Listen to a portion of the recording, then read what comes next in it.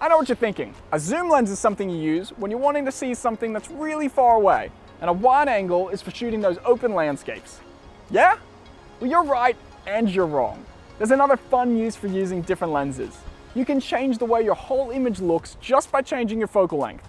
Here's an example. Here's what I look like at a focal length of 16 millimeters. It's not the best look for me, honestly, but if you wanted a crazy amount of depth and to see everything around me, then it could work, I guess. Now, if you walk the camera backwards so we get the same shot size, but zoom in to 35 millimeters, you begin to see that the image looks a lot less like it was shot on a fisheye, but you still have quite a lot of background in the frame. Jumping now to 50 millimeters, we see that this is where I look the most lifelike. And what I mean by that is that this is what our eyes are most accustomed to seeing. Jumping to 100 millimeters, we see that the background is getting very compressed and our subject's features are getting flattened.